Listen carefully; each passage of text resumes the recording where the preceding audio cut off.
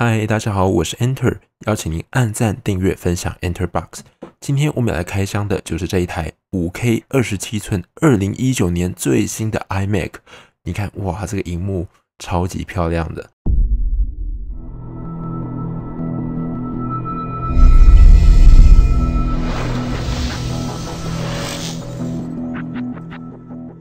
好，那我们马上就来开箱它。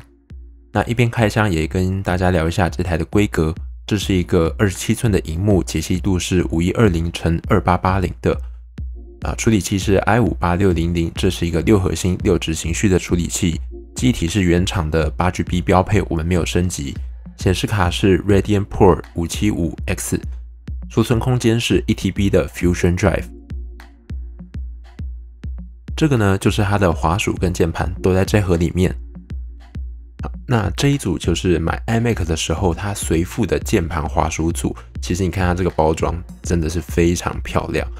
不过呢，随附的 Magic Mouse，我觉得 Magic Mouse 真的是蛮难用的，不管是第一代、第二代，主要是它的手感真的非常的不符合我的手型。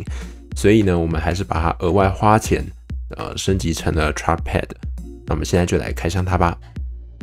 哎，看到这，你一定在想，触控板呢？没关系，触控板就在底下。这个键盘好像跟我们平常看到的不太一样，好像缺少了什么东西。对，没有错，这个呢是我们在官网点选的时候也特别去更改的，把它变为美式英文。因为一般的键盘上面有注音、有仓颉，其实看起来我是觉得蛮乱的。然后我们现在打键盘都是盲打，其实不太需要去看上面是什么东西。然后另外一个原因是因为我们现在桌上还有另外一台 iMac，那另外一台 iMac 它的键盘是中文的。那这样子就可以做一个简单的区隔，不会说，哎，我按的这个按键不知道是哪一台电脑的。好，接着我们来看底下的 Trackpad，现在中文好像叫巧控板，我是觉得那个中文真的翻的还蛮鸟的，还不如真的直接叫英文就好，或是反正我口语是习惯叫触控板啦。那一边开箱也一边说，它跟键盘都是用 Lightning 来充电的，而且呢，以我们目前使用情况。怎么感觉好像不知道是不是有人帮我偷充啊？但我是觉得每次用都可以用超久的，可能几个月我才才会需要充电一次。而以前使用第一代的感觉，就是觉得每个月都在做一个巡回的运动，就是在买电池、换电池、买电池、换电池之间徘徊。但现在这个真的非常好，而且非常非常的薄，然后面积又非常大。那我们测一下它的重量，重量是两百三十二点五公克。那键盘我们也来测试一下重量。重量是两百三十克左右。最后要来开箱的这个配件是在荧幕下方的保利龙。那保利龙撕开上面这一层塑胶膜以后，就可以拿出这个电源线。那 iMac 因为它是内置的 PSU，所以它外面只有一条电源线就可以直接来使用了，非常方便，用料也非常好。看看从第八代 i 五六核心升级到第九代 i 九八核心，分数到底会提升多少？未改装前的 iMac 原厂是 i 五八六零零，三点一 GHz 六核心六执行序，机体是八 GB。首先看到 Cinebench R 十五分数都在九百九十分以上，不过呢分数永远都没办法超过一千分。再来看到 Cinebench R 二十的分数都稳定在两千四百分以上，不过测试几次始终无法超过两千五这个门槛。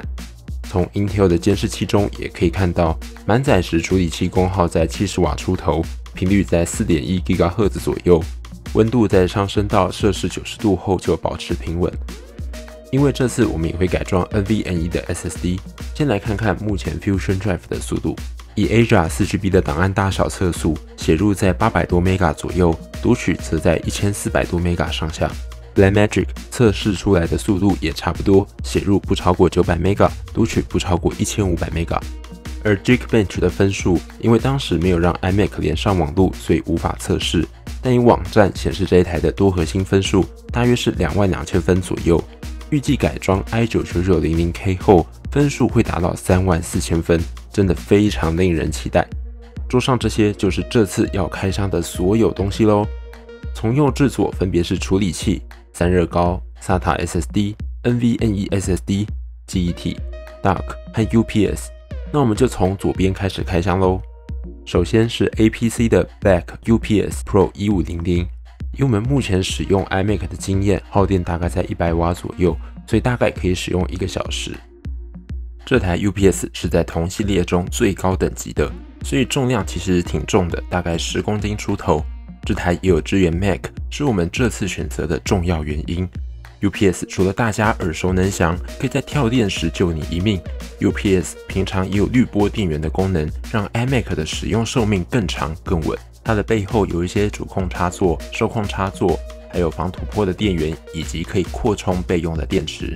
那新买来的 UPS，它的电池是反装的，所以我们要先将电池拿出来，然后再反装回去。首先就是打开底下的盖子。然后将电池拿出来，然后转到另外一面，从这一面把它插入以后，再把盖子盖上就可以了。之后改装完的 iMac，我们也会实际拍摄模拟跳电的时候，iMac 是不是可以在 APC 的 UPS 上继续运作？接下来我们来就来看到 A10 的 USB-C dock，为什么会需要这个 dock 呢？因为使用 iMac 时会发现，要到它的后面去插 I/O port 非常麻烦。所以我就会倾向于用一个 dock 把它们外接拿到前面来，可以比较方便来使用。那我们就一边来开箱看看它的介绍。这边的介绍有提到需要一个独立的电源接入，以及有一个 HDMI 网路口，还有 USB-C、Type A、Type C 都有。正面有一个 USB 三点一 Gen One，同时也有五伏二点一安培的充电，还有独立分开的耳机麦克风接口。好，那我们马上来开箱它。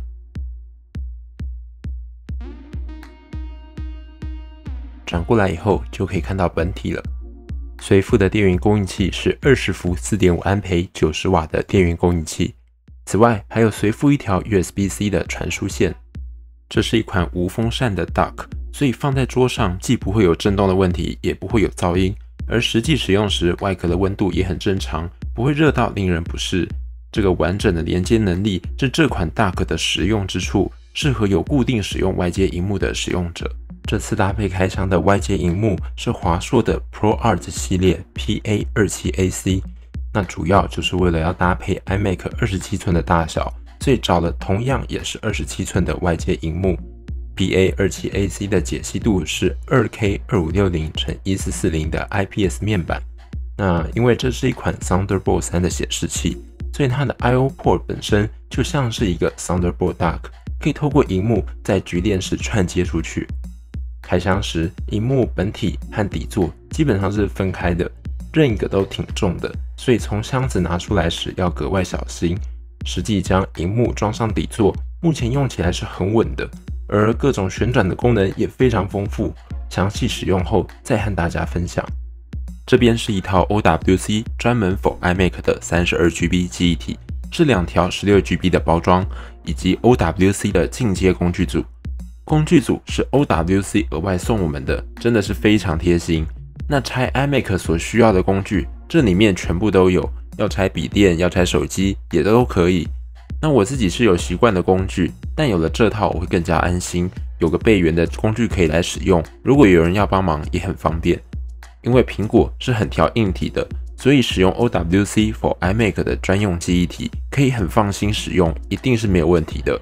这套是从美国寄回来的，但可以看到这边写 Made in Taiwan。那最后呢，又回到了我们手上，你怎么有了一种早知如此何必当初的感觉呢？那 OWC 在台湾的服务越来越完整，以后要买东西售后服务就不用大老远寄到美国了。接下来我们来开箱 Petri 的 P 两百 SSD，正面就可以看到 P 两百的本体是二 TB 的哦。那包装上也有许多资讯，像是七 mmeter 的厚度，支援 Windows 和 Mac，背面有各种语言标示。那整个包装重量大约是九十二公克，实际本体是四十七点三公克。那因为是要装进 iMac 中的。以后也不方便拆装，所以一次就把容量装到大一点的二 TB。而且呢，这颗 SSD 目前的 CP 值很高，大概看了各通路近期的价格，以同样二 TB 的 SATA SSD 来说，大概都要八千多以上，而博帝这颗才六千多诶。P 两百读写速度标示也有五百 MB per second 以上，之后改装完成后也会跑分给大家看看这颗 SSD 的实际表现。再来是希捷的 FireCuda 五一零 SSD，也是以高读写速度以及高 CP 值上市。而且跟 SATA SSD 一样，NVMe SSD 一旦装进 iMac，就希望它可以稳稳运作，之后不用三不五时再去换它，所以一次就上到顶规的容量，二 TB，爽，总共就有四 TB 的容量，官网点到顶规都买不到的规格诶。那散热部分，我们也有准备散热片，避免因为温度太高，SSD 的读写速度掉下来的问题。那目前 iMac 原厂的 Fusion Drive 的读写速度分别是一千四百和八百多。那以 FireCuda SSD 作为 iMac 的系统盘，没意外的话，读写速度应该是轻松超越啊。那有意外的话就翻车喽，毕竟目前国内外都还没有看到把五一零 SSD 装进新款 iMac 的经验，我们应该是第一个。支援性其实有一点抖啊，那只能说加油，希望改装一切顺利。因为我们这次改装一路会拆到 CPU，把 i 五八六零零换成 i 九九九零零 K 这颗八核心十六执行序的旗舰处理器，基础时脉是三点六 GHz，超频后是五 GHz，全核超频是四点七 GHz，所以当然也需要强效的散热膏来帮忙导热。我们采用的是 Thermalright 的 TF10，为什么呢？因为这款散热膏的散热系数非常高。高达十四点三瓦 Mk 的散热系数，几乎可以说是目前市面上散热系数最高的散热膏了，可以确保 iMac 的散热器压住 i 九九九零零 K，不然效能就整个会受到影响，就浪费了这颗 CPU 那么好的效能。哦，对了，下一部影片会有地名 TF10 的抽奖活动哦，所以大家一定要记得订阅 Enter Box。那整个 TF10 的包装是一个炮壳，里面也随附了一个小刮刀。这个是 TF10 六点二公克的版本，另外也有两公克的版本可以选购哦。那称重一下，整个包装的重量是三十八点五公克。那因为 iMac 的 CPU、GPU 散热是同一个模组，是一整个装在一起的。要拆 CPU 的话，GPU 的散热器也会分离，所以装回去的时候，CPU 连同 GPU、GPU RAM 都要上散热膏。所以我们这次才一次选用 TF10 的六点二公克大容量版本。那这次的 iMac 二十七寸还有改装的配备都开箱完了，规格是不是很澎湃呢？所以再次感谢赞助商们的大力支持，让 EnterBox 可以顺利执行这次的计划。那如果没有意外的话，我们应该是全世界第一个改装 iMac 二十七寸二零一九版的 CPU 的媒体。那如果有意外的话，也可以安慰自己是第一个改装失败的吧。失败的话，再想想要怎么收场喽。那和大家聊一下接下来的影片规划，会有一部影片讲述拆解改装的过程。那如果顺利改装成功的话，也会按照时间做出改装后的效能介绍以及周边品相的使用心得。那么我是 Enter，我们下期再会。